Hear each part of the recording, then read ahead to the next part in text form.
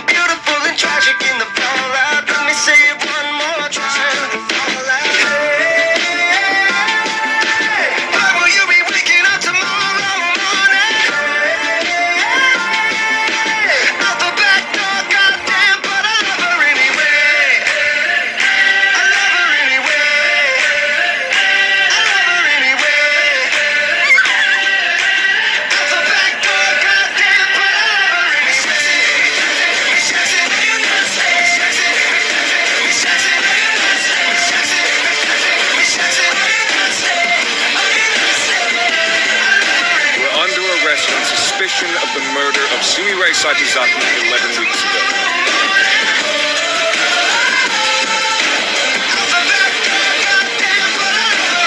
Taking all of the facts into consideration, it is clear beyond any shadow of a doubt that Ryoba Aishi is innocent of all charges.